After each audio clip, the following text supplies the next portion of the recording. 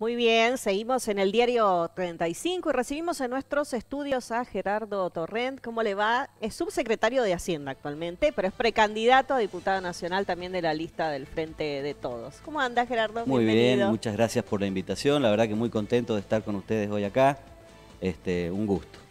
Bien. ¿Cómo está desempeñándose en la campaña? Porque es la primera vez que usted está mm, eh, digamos, sometido al voto de la gente para ocupar un cargo, Gerardo? A ver, yo lo, acompaño al gobernador este, Sergio Uñac desde sus comienzos como intendente en Posito eh, y, en dos oportunidades, eh, uno en, la segunda gestión del actual gobernador y después en la primera gestión del actual intendente de Posito, Fabio Vallay.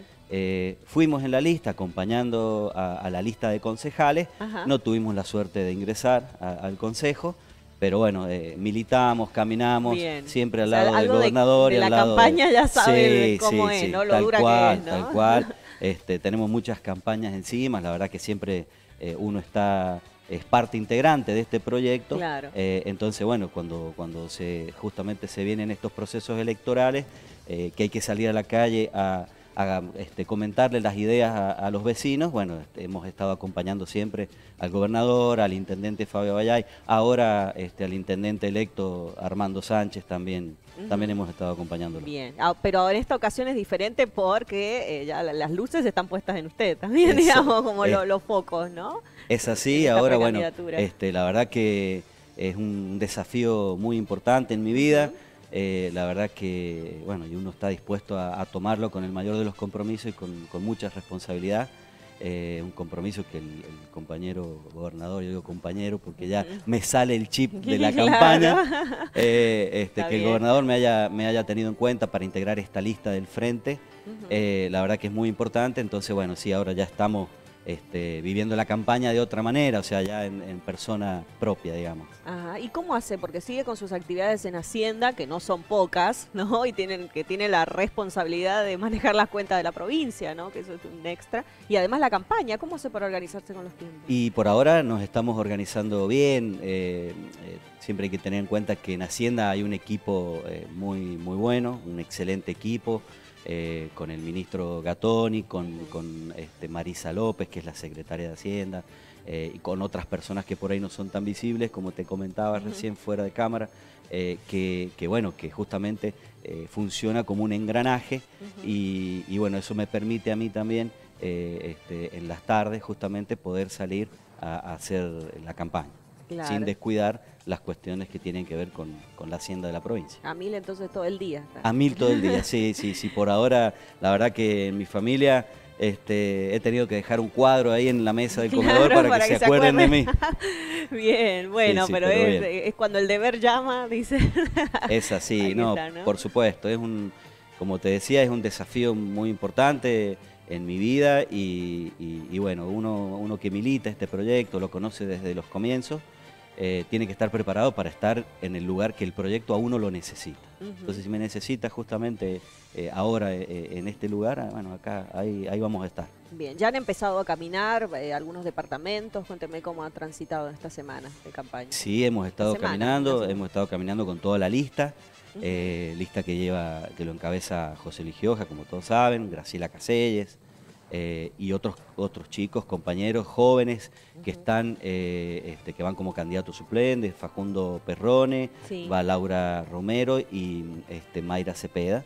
Eh, hemos salido a caminar, hemos caminado Rawson en dos oportunidades, hemos caminado Rivadavia y estamos yendo justamente a, reuniones de, distintas juntas departamentales y bueno, la idea es seguir este, caminando todos los departamentos eh, a medida que, bueno, que, se hayan agendado justamente esas, eh, esas caminatas. Bien, ¿y cómo es ahora, eh, cómo nota usted el impacto en la gente? ¿Cómo, cómo lo ve? ¿Qué, pro, ¿Qué cosas les piden? ¿no? Este, ¿Cuál ¿Qué evaluación hace usted del contacto con los vecinos? A ver, para nosotros es muy importante justamente el, mantener ese cara a cara con el vecino, ese contacto, porque bueno, los vecinos van planteando distintas inquietudes o distintas necesidades, depende de donde uno vaya.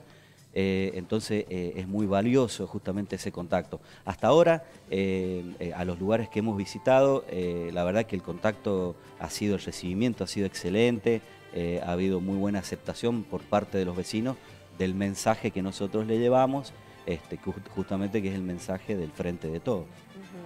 Bien, y usted decía, bueno, es una, lista integrada por em, eh, dos referentes importantes con experiencia, jóvenes. Este, ¿Qué balance hace de, la integración y también de la propuesta que le van llevando a los vecinos por esto mismo, ¿no? De la juventud y la experiencia, todo junto allí. La verdad que es una, es una lista, a mi criterio, muy equilibrada, que combina justamente experiencia eh, con José Luis y con Graciela. Eh, y combina juventud este, con, con, los chicos que van también integrando la lista. Eh, conmigo. este, también, la verdad que una lista bastante equilibrada, con este, mucha experiencia y donde se ha logrado justamente eh, lo que nosotros siempre hemos venido este, pregonando, lo que el gobernador siempre ha venido pregonando, que es justamente esto de la unidad. Eh, es una, lista que se ha conformado a través de un frente, en donde ese frente justamente está conformado por distintas líneas o distintas matizado por distintas líneas, eh, pero que justamente eh, todas las coincidencias son mucho más grandes o mayores que justamente aquellas diferencias que puedan llegar a haber. Entonces eso hace que justamente se haya podido conformar el frente y este, hablemos de esta unidad. Bien, y cuando se sientan a hablar entre ustedes, ¿qué, temas este, también resultan? ¿no? Porque por allí de la charla dice, bueno, vamos a hablar de este tema, vamos a tratar este tema, vamos a ir con estos proyectos, ¿no? Usted también, ¿qué, qué integra, qué impronta le quiere dar a esta candidatura? A ver, nosotros cuando nos juntamos a hablar justamente sobre los ejes o sobre los lineamientos que, debería tener la campaña, eh, nosotros marcamos mucho justamente todo lo que se ha hecho en San Juan, todo lo que se ha hecho en la provincia de San Juan. Em, hablamos mucho del modelo San Juan, que justamente es un modelo del que todos los argentinos están hablando, que es el modelo que conduce el gobernador Uñac y que ha trascendido las fronteras de la provincia. Eh, entonces nosotros justamente vamos con pruebas, con hechos palpables, con hechos tangibles, que son este, todas las obras y todas las políticas que se han desarrollado acá en la provincia. Eh, y bueno, y lo vamos poniendo en contraposición del gobierno que desarrolla la nación, justamente con eh, este, justamente tasas de interés altísimas que, bueno, que no favorecen en nada la producción, eh, simplemente favorecen a la especulación financiera. Eh, vamos marcando esas diferencias que tenemos entre un proyecto y otro. Bien. ¿Y usted en particular este, tiene algunos temas que le gustaría, en base a su experiencia en el municipio o en Hacienda, le gustaría llevar a la Cámara de Diputados de la Nación? A ver, uno tiene que estar preparado para defender todos los proyectos que tengan que ver o que pongan en juego los intereses de los sanjuaninos. Eso eh, eh, en primer lugar. Eh, este, después, bueno, hay un montón de temas para tratar, por ejemplo, economías regionales, competitividad de las economías regionales. no nos olvidemos que nosotros este, vivimos recostados en, la cordillera y, estamos a 1.200, 1.300 kilómetros del puerto. Eh, de Buenos Aires. Entonces, este, todo lo que nosotros eh, queramos exportar o necesitemos eh, llevar a los grandes centros de consumo, nos cuesta mucho más caro y nos cuesta mucho más competir con aquellos que tienen más cercanía justamente a esos centros de consumo. Así que yo creo que ese sería un tema muy importante a tratar y cualquier otro tema que beneficie justamente a los sanjuaninos. Exacto, y ese, el tema de apostar a la producción, bueno, es una de las líneas que ha tratado de mantener este gobierno provincial, ¿no? A pesar de todos los vaivenes de la economía. Es así, yo creo que el, gobernador, este, con una decisión política muy fuerte, eh, viene apostando por la producción en la provincia, generando ya sea o líneas de crédito a tasa subsidiada, eh, subsidios a microemprendedores, eh, todo políticas destinadas a mantener las fuentes de trabajo. Eh, no nos olvidemos que, la media del desempleo a nivel nacional está arriba del 10%. Y, acá en San Juan este, estamos alrededor del 3%. Y eso justamente tiene mucho que ver con este tipo de políticas. Bien, sí, es, que es difícil por allí mantenerlas, ¿no? Cuando el, eje de la política nacional por ahí es otro, ¿no? Exactamente. es como blindar la provincia, Exactamente. Hay, hay cuestiones que, que son macro, eh, y que no las define la provincia, que las define el gobierno nacional, como es la política monetaria, la tasa de interés, bueno, justamente este tema inflacionario que no lo pueden controlar, eh, cuestiones que, eh, digamos, la provincia no tiene injerencia y entonces la provincia tiene que hacer lo imposible con sus recursos. Por eso destaco que, son recursos de la provincia, porque la provincia está bien administrada, eh, no, no solamente desde ahora, ya desde hace mucho tiempo hacia atrás, una provincia que tiene equilibrio fiscal, que tiene superávit, entonces eh, permite hacer frente justamente a, todas estas medidas del gobierno nacional que justamente perjudican mucho a la población.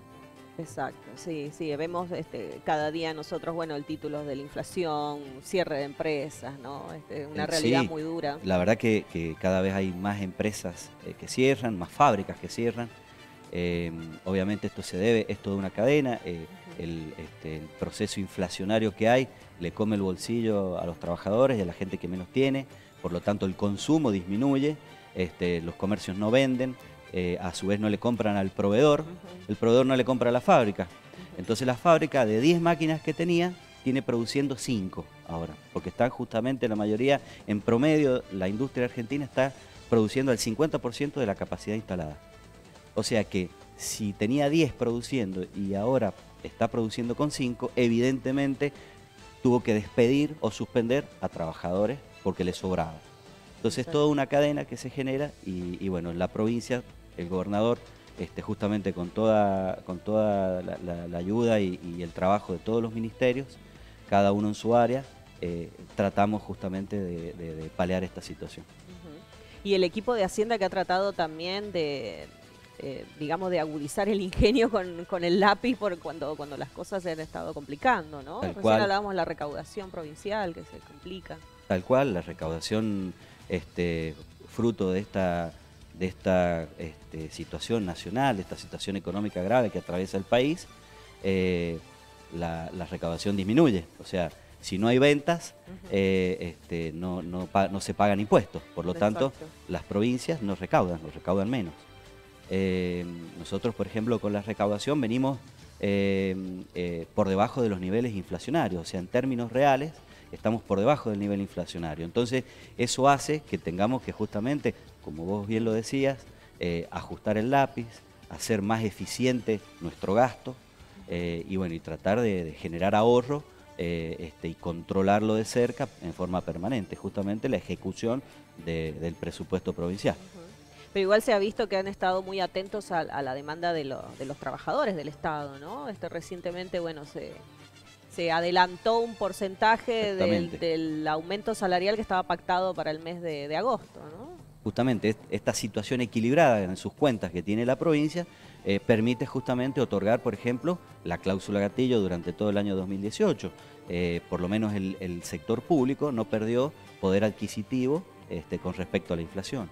Eh, ahora en este año, justamente nosotros acordamos con, el sector gremial el 27% de aumento, un 15% desde marzo, después un este, 7% a partir de agosto, que ese tramo, justamente a pedido de los, de los gremios y, teniendo en cuenta la situación real que, se vive, eh, se ha desdoblado y se ha adelantado eh, un 4,2% para ahora para liquidarlo con el mes de julio y el otro 2,8% sí a partir del mes de agosto. Y este, se adelantó el tramo que estaba previsto para noviembre, que era del 5% adicional, se adelantó para el mes de octubre.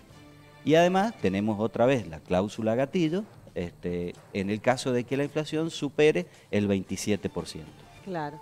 Que estaban algunos gremios decían, bueno, si nos ponemos a hacer números o estimaciones, llegamos a septiembre y prácticamente estaríamos sobre el 27, ¿no? Ayer han dado a conocer la inflación del mes de junio y, si bien ha, bajado un poco, este, por lo menos ya ha bajado de lo que es el 3%, ahora 2,7 ha dado.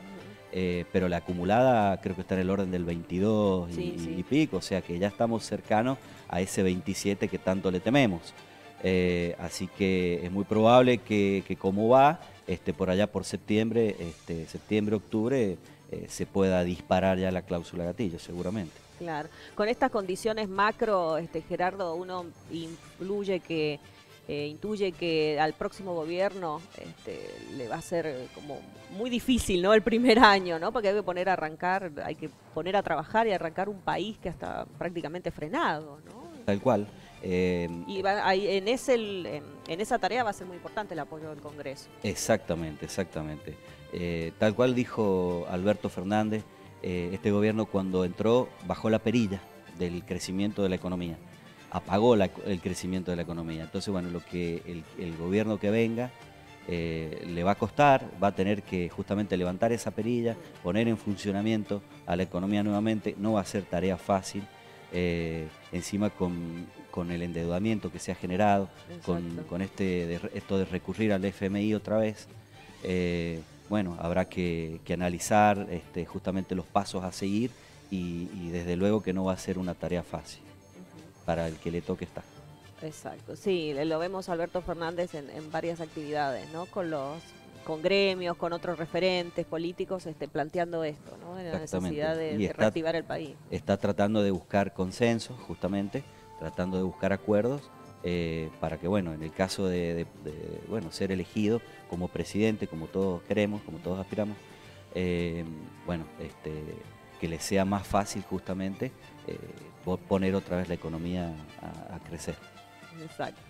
Bien, Gerardo, ¿no? Esta es una tarea, o sea, una tarea difícil la que se viene para el Congreso, ¿no? También un, desafío para acá los legisladores, estar a, la altura de las circunstancias donde un país va a necesitar mucha...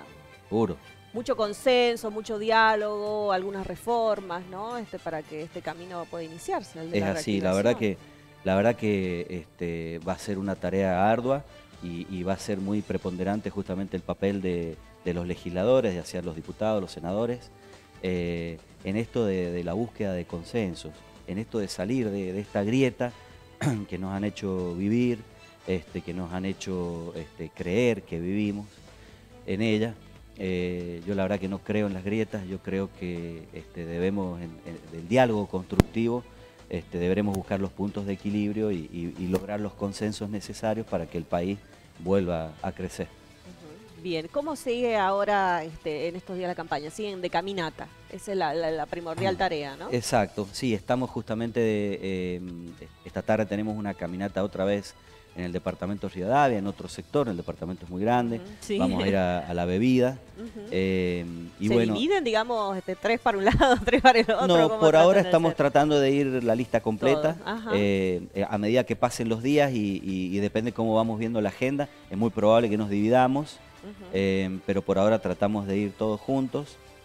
y bueno, este, seguramente los encargados de la agenda este, bueno, nos, irán, nos van indicando día tras día eh, todas las actividades que tenemos para, las tardes, porque arrancamos muy temprano, arrancamos a las 4 de la tarde y, estamos llegando a las 11 de la noche a, nuestros hogares. Claro. Así que es una tarea larga, eh, se visitan muchos lugares, este, se visitan uniones vecinales, se visitan este, clubes. Eh, entonces, bueno, la verdad que es una, una tarea que si bien es agotadora, pero, pero es una tarea hermosa para el que le gusta justamente esto de la política.